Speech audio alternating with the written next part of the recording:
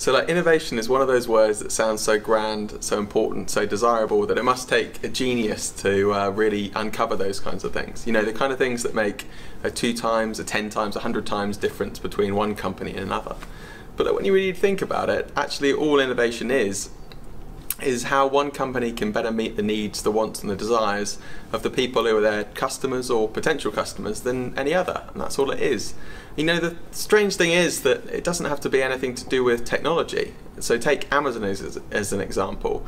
Whilst it may seem that they're a, yes they're a technology company, actually the two innovations that have really made a difference for them are Amazon Prime and one-click checkout. You see, with Amazon Prime, what they've done there is created a commitment device. So you as a customer, you get free priority delivery um, and in exchange, in um, Amazon, uh, they get you as a customer for longer. So it works for both people. Then the second thing is uh, one-click checkout. So rather than it taking many, many steps for you to check out with Amazon, it's incredibly simple. You just press one button and boom, you're done. And if you put those things together, actually what happens is that 74% of people who hit Amazon's site who are Prime customers actually check out, actually buy something, whereas only 14% of people check out if they're non-Prime customers. Now 14% is still so much higher than your industry average, but the reason why, yeah, one-click checkout. So it doesn't have to be anything to do with technology. Now a second thing as well, another surprising truth, is it doesn't actually have to be that you re-engineer a product. So I'll give you an example of uh, something that happened recently in the UK. It's a big craze, which is about micro scooters. So what happened was there were two mums who had that problem of they were trying to take their kids to school, but what was happening is the kids were dawdling and they thought, you know what, there must be a better solution to this rather than just dragging them through the pavements. And they looked around and they couldn't find anything until they found these uh, little Swiss micro scooters. The problem was though is that they just weren't really attractive to their children. They were black, they were chrome, you know, they were designed by the kind of people who wear black cashmere sweaters and, and live in Switzerland. And so what they did is they approached that company and they said, look, I think we've got something here.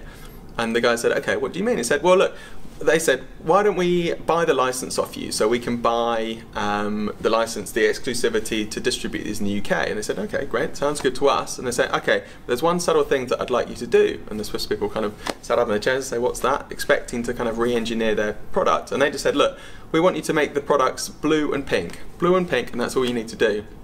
And they thought about it for a while and they said, Alright, fine. They tried it out and sales absolutely soared. So previously they couldn't sell these things to anybody, but actually after they just changed the colour of the product, um, they went, you know, sales went through the roof and it's now worth about 15 million pounds every single year in the UK and growing rapidly. Um, I don't know if you have this too, but every single day if you, if you walk past a school, you'll probably be attacked by about four or five kids who are on these micro scooters incredibly effective little thing, but you don't have to re-engineer things. You just have to understand people a little bit better. Now, a third way that actually third surprising truth about innovation is that it doesn't have to take months, it doesn't have to take years. It can be something surprisingly subtle, surpri something surprisingly small, but if you know where to look, um, then you can actually discover these kinds of innovations overnight. So just ask the Amsterdam airport bathroom cleaners. So they had a real big problem, which was spillage. So essentially blokes were pissing all over the floor. And they understandably didn't particularly want to be mopping this stuff up. And they put their heads together, and then one bright spark came up with an idea how about this? Why don't we give men something to aim at? And they thought, okay, that's a good idea. What could that be? And they came up with this idea of putting a fly sticker. They put the fly sticker in the urinal so that men would actually aim when they're having a piss. Result of that, an 80% reduction in spillage. Now think about that. An 80%, think about this in, in these terms. How about finding something that had an 80% improvement in your business results and it was something so small, so subtle, uh, that didn't take months to engineer at all, but you just you knew what to look at. See, that's really the canvas. The canvas is the human mind. It's about human behaviour. And as Stuart Butterfield, who's the CEO of Slack, um, now valued at over 3.8 billion, he put it, look, the best, maybe the only real direct measure of innovation is changing human behaviour. So if you change a million people's behaviour, that's incredibly innovative. And if you, let's say you spent billions of pounds, you spent months of time, and you re-engineered a product, but only changed one person's behaviour, it's not innovative at all. And that's really what you've got to think about. You don't have to think about technology. You don't have to think about re-engineering things. You don't have to think about spending months of doing it. It's just about finding the right thing.